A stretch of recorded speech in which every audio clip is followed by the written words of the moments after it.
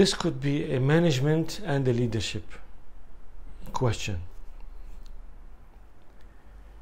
Um, but the fundamentals are the same because you're talking about how do you effectively interact with a team or a group of people so that you can mobilize them in a successful way.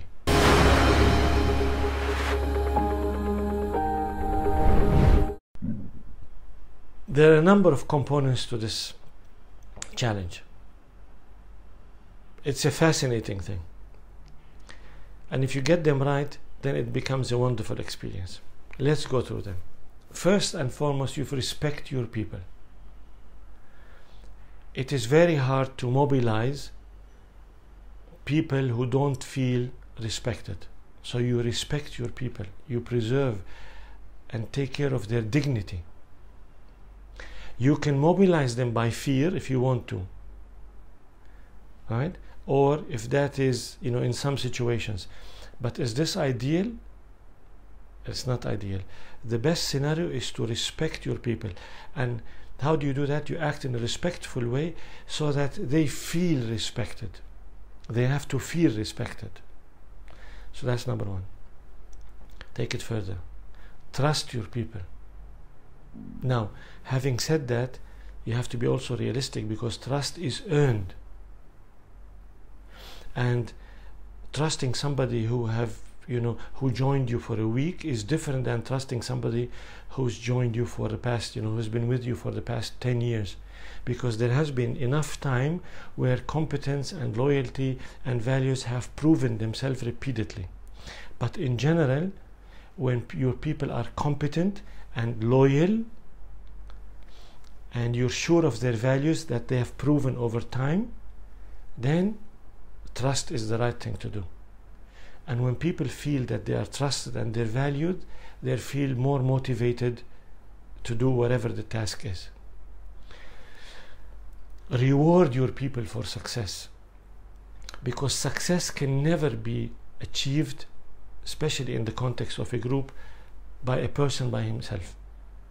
So when you succeed as part of the group, your entire team is helping you succeed. In fact, the whole team is succeeding together because you can't do it alone. Now, when you succeed, what do you do? You share the benefits and the glory and the joy of this success with your people. So people, your people have to feel that they're they're they're they're enjoying the the benefit, the part you know part of the success, the reward of this success, has have become has become a personal experience to them. So definitely share your reward. What else? Give people space to grow you have to understand human nature and human nature by default wants to expand and grow so you motivate people by allowing them to have the necessary space for them to grow to become better people to fulfill themselves to actualize themselves to gain experience and the more you give them that space, the more you create a learning and a growth environment for your people, the more your people will feel motivated because they will feel there's something in that for them also. Give your people autonomy, and that's a reflection of the trust that you have in them. If they're competent, give them autonomy so that they can do the tasks the way they want. As long as they are delivering as per the quality and the requirements that you expect from them each person has you know they have their own style of doing things. So give them autonomy so that they can perform the task in the way that they feel comfortable with in the way that's an expression of who they are as people. So all of these elements contribute to motivating people one more important very important point is emphasize a sense of purpose. When your people feel that you're all, all of you there are together to fulfill a purpose that talks to their heart, that talks to their value, that talks to their mind, then they're definitely in. So create a sense of purpose. Create a cause where all of you as a team feel that you know you are part of an adventure, part of an enterprise that is valuable, that is meaningful. That's worth the sacrifice. That's worth they give it their best. Make sure that when they are fulfilling this purpose, part of their own individual purpose is also fulfilled. And that's the brilliance of exercising leadership. And even it's a brilliant management technique.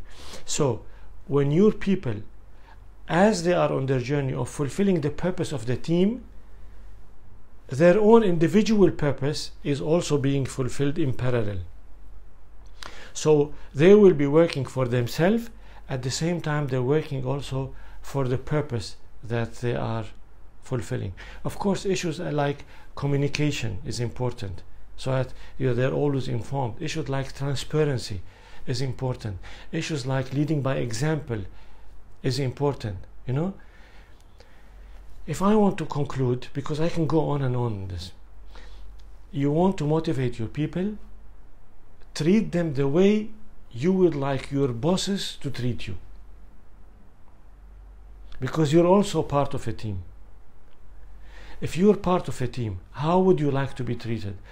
What would motivate you to stay and to shine in this team? Think of all of these and treat your people in the same way. If I want to summarize it in one word, and some people might find this maybe strange, but it's really not, is love your people. Love your people. Of course, there are different kinds of love. There's romantic love, there's like family love, there's friends love. But bottom line is love that puts the interest of these people maybe not first, but that also because the interest of the group is first, the interest of the cost is the cause is first, but puts the interest of these people in a high regard. You love these people, so you're doing what you whatever you're doing in a way that's also contributing to the well-being of these people. You have their well-being in mind. So if you put all of these in place, you know, clarity, communication, continuous feedback, transparency, sacrifice, reward, clear sense of purpose, clear strategy, you will feel that your people, your people will surprise you. Underline surprise. Because every human being brings a universe of resources, exceptional and unique talents and gifts. And when you create this beautiful environment, they offer all of that. They bring it to the table, far beyond what you've asked them to do. And that's the surprising element. And that's why, that's how winning is done. That's how success is achieved.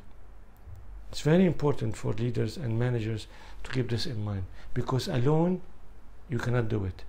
So take care of your people because your people will create the success that you're hoping for.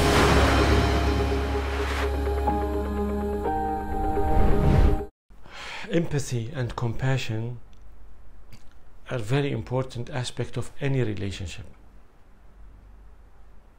because you're dealing with human beings here. And human beings are not just intellectual beings, but they're also emotional beings and they're social beings and they're spiritual beings. So empathy is is a fundamental part of the relationship. Compassion is fundamental part of the relationship. Because your people, just like yourself, will go through tough times, will go through difficulties, will go through challenges. So being compassionate and empathetic means you put yourself in their shoes and you try your best to experience their challenge and their pain and their discomfort and whatever they're suffering from is the way they're doing it, the way they're experiencing it. Of course, practically speaking, it's so hard to do that, but at least you can try. And they have to feel that you're trying. And the more you try, the better it is. And the more you do that, the stronger is the connection. So, of course, empathy and compassion is an important part of exercising leadership because you can't lead without mobilization. And you can't mobilize without connecting with people at a core level. And that requires empathy and compassion especially that the journey of leadership is a turbulent journey. It's not a cruise control smooth journey. So you'll go through setback disappointments pain suffering you know anger sadness. You will go through all these feelings through your journey of leadership. Because it's a journey of challenge. It's an endurance game right? It's an endurance race. However you have to keep this in mind. Empathy and compassion should not become a ticket for mediocrity. So you don't empathize and be compassionate with somebody at the expense of the quality of the work at, of the quality of the task, at the quality of the result that you expect from them, at the quality of the role that they're expected to play as part of the you know larger group, so that you all of you together would succeed. There is another reason you should not misuse or abuse compassion and empathy because it can easily be abused, and that is you should help people to bring the best out of them. And sometimes you cannot be compassionate. You should not be compassionate. When you feel somebody can do much better than they're doing and you feel that, compassion hurts. Sometimes you have to be tough and demand that people get the best out of them. Demand that people polish themselves like a jewel is polished so that it can shine. Sometimes you have to show I don't know, I want to say ruthlessness. Sometimes you have to be absolutely brutal in terms of being honest and being real, in, in giving them clear and, you know, and, and, uh, and true feedback. Act like a mirror that would show them that what they're doing is not good enough because they can do much better. When you do that, they will not like it. It will not be an happy experience and they will not like you and they might give you feedback or show or demonstrate behavior that would you know that would not make you popular that would show resentment from their side. They would push back get off my back. Why are you being so rude to me? Why are you being so harsh? But actually you're not being harsh. Actually what you're doing is that you are forcing them pushing them to bring the best out of them to extract the best out of them. In the end, if you persist, they will thank you. Because who will benefit from them bringing the best out of them? They will benefit. On the short term, the task or the whatever the mission will benefit, of course. But on the long term, once you brought the best out of them, that will stay with them. You've just helped them elevate the standard and the quality of their performance. That's why empathy and compassion are super important.